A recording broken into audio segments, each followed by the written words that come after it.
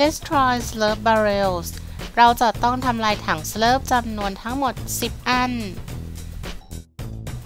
ถัง slurp ไม่ว่าจะเป็นถังเล็กหรือว่าถังใหญ่ ถ้าเกิดว่าเราทำลายมันก็จะนับเป็นแค่1ถังเหมือนกัน ในเมือง Slurpy Swamp จะมีถังอยู่เยอะมากๆนะคะ อยู่กระจายกระจายทั่วเมืองเลย ถ้าสะดวกไปที่เมืองก็ได้นะคะ แต่ถ้ากังวลว่าลงไปที่ Slurpy Swamp แล้วแบบจะเจอคนยิงเราตายก่อนก็ให้มาลง โซนตามบ้านที่อยู่ขอบๆก็ได้นะคะ เพราะว่าตามบ้านเนี่ยมันก็ไม่ค่อยมีคนมาลงเท่าไหร่ แล้วก็ถังก็เรียกว่ามีพอที่จะทำ quest ได้จบแน่นอนค่ะ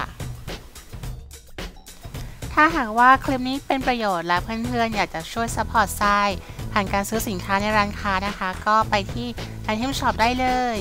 จากนั้นดูที่ทางด้านขวาล่างตรง Support Creator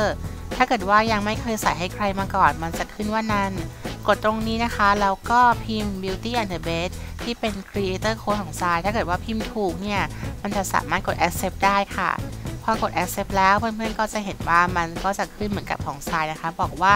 กำลัง support creator ที่ชื่อ Beauty and the Beast หรือก่อนซื้อสินค้าในร้านค้า มันก็จะบอกอีกครั้งนะคะ ว่าการซื้อครั้งนี้เนี่ยจะไปช่วย support ใคร สามารถใช้ได้ทั้ง skin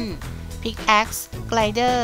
หรือแม้กระทั่งลามะใน Save the World ก็ได้นะคะ และถ้าเกิดว่าใครอยากจะ donate ผ่านช่องทาง True Money ก็สามารถทำได้ตามเบอร์ที่อยู่ทางด้านขวาบนนี้เลยค่ะ